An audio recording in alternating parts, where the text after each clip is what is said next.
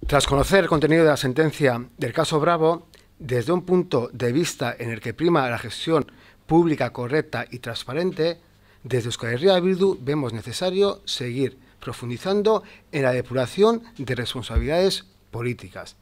Por ello, y una vez que el Poder Judicial ya ha determinado con su labor, eh, ya ha determinado la decisión, consideramos que no es muy normal el que se hayan llevado a cabo actividades delictivas de este tipo durante 20 largos años, con total impunidad y sin que nadie sepa nada al respecto.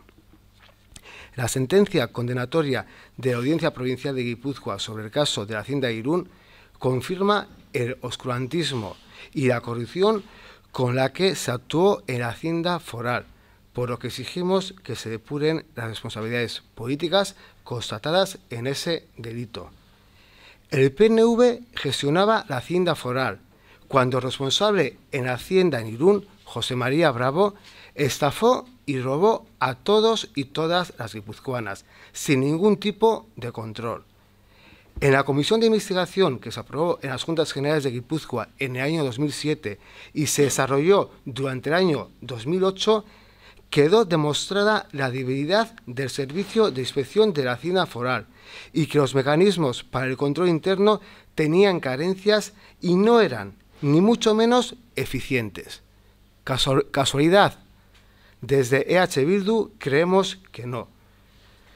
También se determinaron las responsabilidades políticas y aunque valoramos el trabajo realizado, consideramos que no se profundizó lo suficiente y que le corresponde al propio PNV depurar las responsabilidades políticas dentro de su partido. No hay duda de que nos encontramos ante uno de los fraudes y hechos más graves ocurridos en la hacienda guipuzcoana y ante la gravedad de los hechos y la contundente sentencia en la que queda aprobado el delito, delito desde EH Bildu exigimos al PNV que depure responsabilidades políticas. Las responsabilidades no se dirimen con una escuota nota de prensa acatando la sentencia. Por ello, la sociedad guipuzcoana espera una explicación por parte de los señores Eguíbar, Olano y Goya. No pueden practicar la política del avestruz. En definitiva, la sentencia de Bravo condena un modelo de gestión política practicada por el PNV, un modelo de gestión que, entre otros casos, en Guipúzcoa, ha dejado a Videgui con un agujero de 900 millones de euros. Se malversó también en torno a la puesta en marcha del Museo Valenciaga. En el caso de Chara 2 se demostró que se convertían en sedes de empresas privadas edificios de propiedad foral. En el caso Bravo, con más de 1,6 millones de euros defraudados y robados a los guipuzcoanos y guipuzcoanas. Y el impulso de la privatización de Cuchabank, que dejará su componente social para ser un banco privado más. Este es el modelo de gestión que vende el PNV del señor Urcuyu. Y desde EH Bildu lo censuramos, porque para Euskal Herria es prioritario el bienestar de la ciudadanía y para poder tener un sistema público fuerte es indispensable llevar a cabo una gestión transparente, rigurosa y abierta a los ojos de las y los ciudadanos. No obstante, el modelo de hacer política ha sido sentenciado en los tribunales.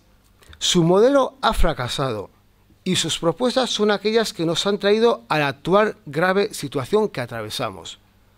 La sociedad guipuzcoana ya dijo no a este modelo de hacer política.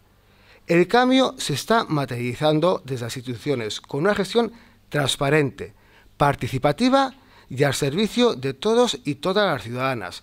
Por ello, desde Euskal Herria Bildu nos comprometemos en convertir las instituciones públicas en herramientas eficientes, transparentes y potentes al servicio de la ciudadanía y para poder y para poner fin a los espacios de impunidad del pasado nos comprometemos a implementar medidas en contra de la corrupción y los abusos del poder.